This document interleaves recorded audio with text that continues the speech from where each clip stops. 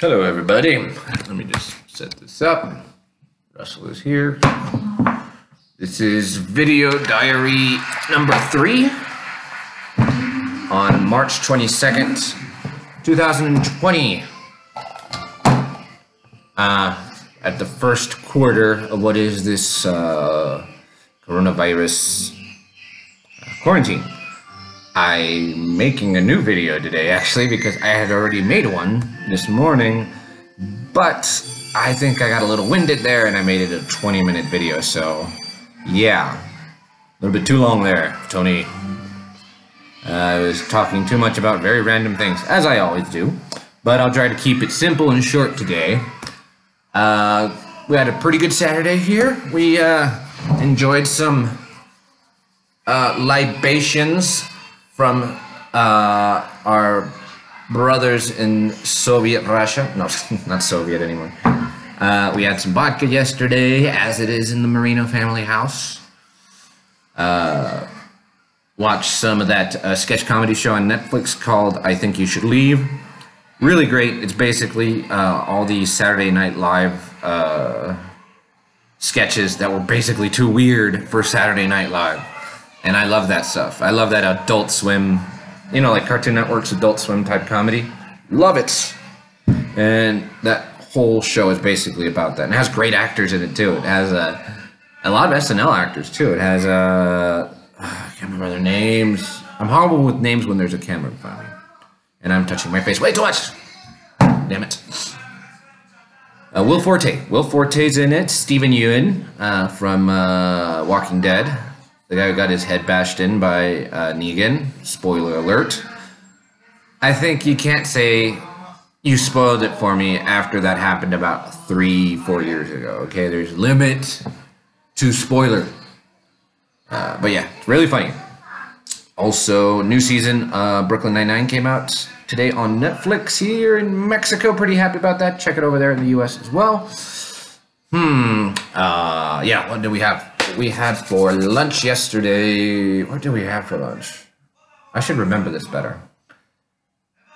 Oh yeah, we had some chiles rellenos, red chiles rellenos, which have a little bit more of a chocolatey, almost sweet tone to it because of the type of uh, chili you use. So we had some chiles rellenos with some uh, chickpea soup, I think. Oh no, no, no. We had a. It was kind of like a chickpea soup. It was really good. I like that and uh, salad. So it was relatively healthy, all things considered, outside of the fact that the chile relleno was deep fried and it was filled with cheese, but kind of sort of healthy. Uh, did some writing yesterday, got to do some more today. Got a video meeting with my friend and associate in Canada, Casey.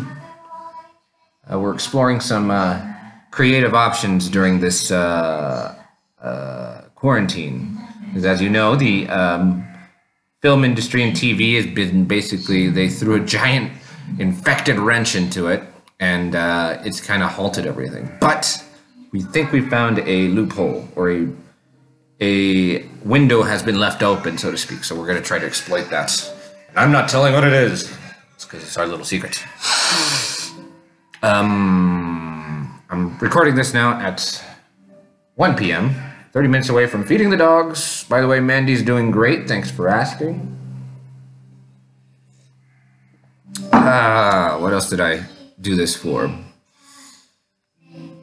Oh yeah, I came up with this crazy idea yesterday, just random idea for a script, because uh, I remember how much here in Mexico the senators and the House of Representatives there's about 500 seats or something like that, and I remember at some point hearing how much they made per month, like just on a regular payment schedule. They make Mexican politicians are some of the best paid politicians in the world. That's the disturbing part.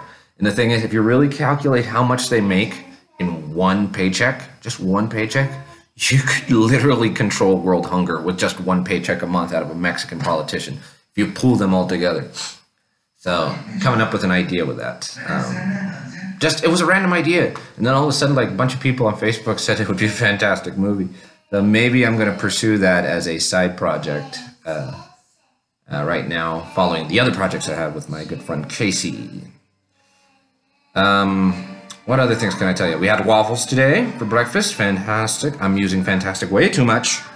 I love doing that. Since I'm getting, I actually deflated a little bit. It's amazing how my face fluctuates between bloated and unbloated. It's mostly based on hydration, so I've heard. So, but the thing is, I'm always surprised how it changes so drastically. But I like that whenever you get a little cheeky, you can do the Richard Nixon face and you just go.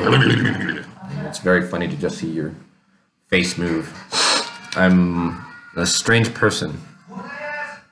Uh,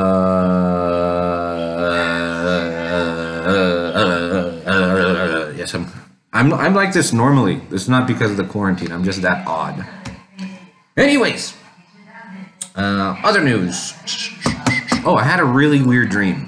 Uh, it was uh, all. Dr- it's not weird the way you think it, it should be weird. Like it's not me riding a dolphin through space, and then uh, Santa Claus appears and he throws up a pizza, and we have a pizza party with uh, the toys I had when I was five years old. That's a normal dream. That's what dreams should be. My dreams, I think it's because I think up so much crazy stuff during my waking life that my dreams are substituted by excessively mundane things. So I dreamt last night that I was like younger. I was in about late 20s, I think. And I was working at a record store, a music store, a record store, whatever have you, in Los Angeles.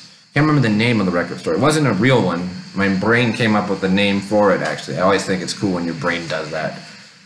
And it was like my first day on the job. And it's one of those record stores that has way too many employees for the actual needs it has. So, so there was like 20 people there. And they were all super nice. I think that was very nice of the dream.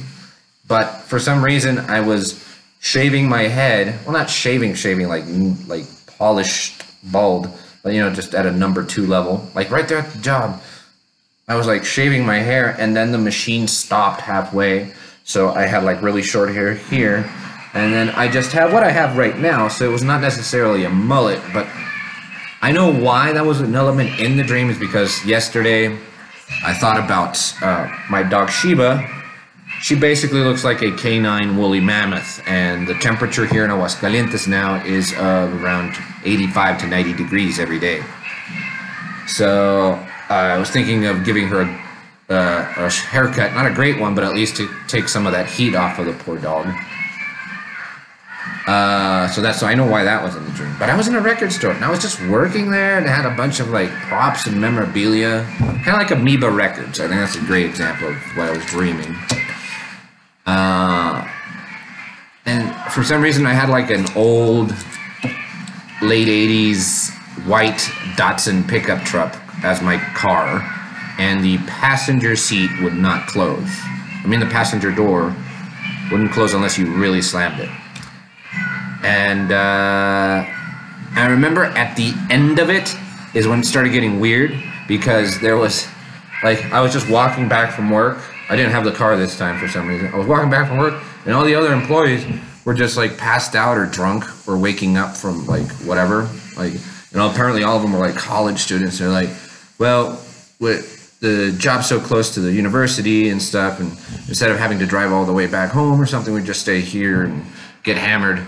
And then we see that there's like this abandoned barracks, like underground barracks, close to like the store and whatever the university was. It was like in a very pretty field and it looks like an abandoned, boarded up, like subterranean, uh, like military thing.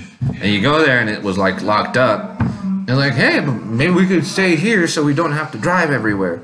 So I knock on the door, and this really old, like lemony snicket type looking dude came out with like really long nails that were really dried up. Uh, and we were like very up forward about it. It was like, hey, uh, can we just uh, come in there and hang out? And the old dude was like, yeah, sure. And it was kind of creepy, but not too creepy. I felt weird in the dream because I came over to shake his hands, but you know, he had those really like wide, dried up nails with splinters in them. And I was like, and basically, we all came into the abandoned subterranean barracks with this creepy old dude. And then I woke up. So it was just turning into a horror movie. Like, it was a great setup for like a bunch of stupid teens or young adults going into a place that they shouldn't, and then I woke up. So yeah, uh, that's how every dream happens. Every to be continued, every dream I've had has a greater to be continued because I always wake up before I should, and I mean that in every dream.